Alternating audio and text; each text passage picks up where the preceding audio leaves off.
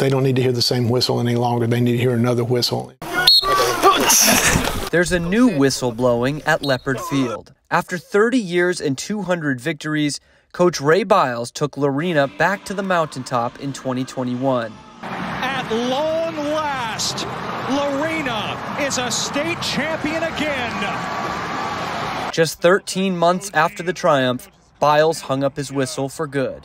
Uh, it's, it's time it's time for me to move, and it's good for my wife, my four kids, and my nine grandkids. And I've had a whole lot of more time to invest with them. So uh, while I miss it and my heart hurts in some ways, uh, it was also absolutely the right thing to do.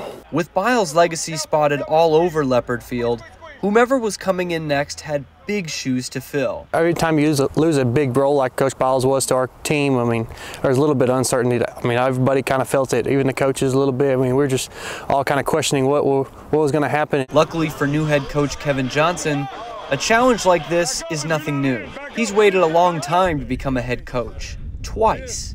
After injuries cut his college football career short, Johnson turned to coaching as a way to stay in the game. First as a grad assistant at Sam Houston State, then as an assistant at his alma mater, Connally, for nine seasons before being promoted to the head man. Five seasons later, another football journey was cut short for Johnson. He stepped away from the game for something much more important.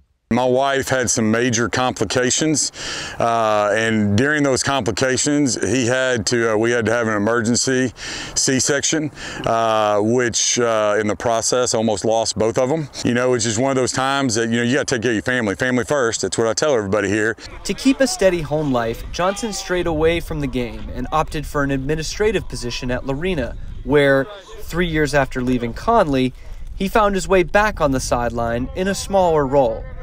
After years of battling for 3A supremacy in the Waco area, he was now learning under one of his fiercest competitors. We played each other year after year and got to know him uh, over those years and just a great man. And, uh, you know, then when I had an opportunity to come over here and work with him uh, in a different capacity, I mean, I really enjoyed that. Really had a tremendous amount of respect for him, the way he ran the programs. Uh, the thing that he's done with the, the program over at Connally when he was there, I was always thinking, you know, it's a great young guy that's busting his fanny and doing it the right way. But even in his new role as principal, Johnson kept the energy he brought to the football field, albeit in a much different way. He wasn't one of those principals that sat in the office all day. He was in the hall, he was in the classroom, he was out on the field. He was, I mean, very, very active in the lives of those kids. He's a lot different as a coach than he was as a principal. He was straight, real straightforward as a principal and everything, which is needs to be happening.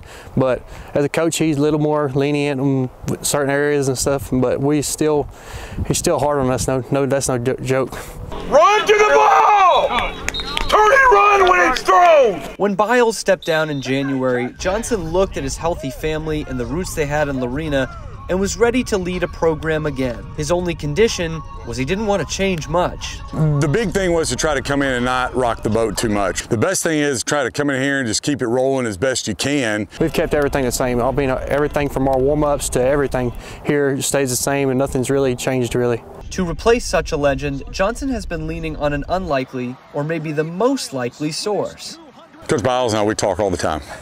Now, I let him, you know, he's trying to enjoy retirement and do some things, but Coach Biles checks in all the time, makes sure things are good. If I've got questions about something or just you want to pick his brain about something, pick up the phone and we call. Not many coaches get a second wind in their career like Johnson has. Still fewer take on the uphill climb through the coaching totem pole for more than a decade only to do it all over again.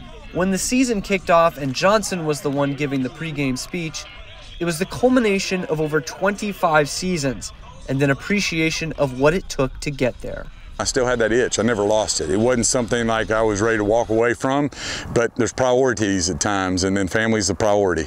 The logos have changed, the years have gone by, and life has changed drastically for Kevin Johnson since taking his first coaching job. He isn't caught up in the shoes he needs to fill. He just wants to keep going. I understand what the expectations are here at Lorena, and my job is to you know keep those expectations high and to try to do our best to fulfill those expectations. And so I, I don't back down from that at all.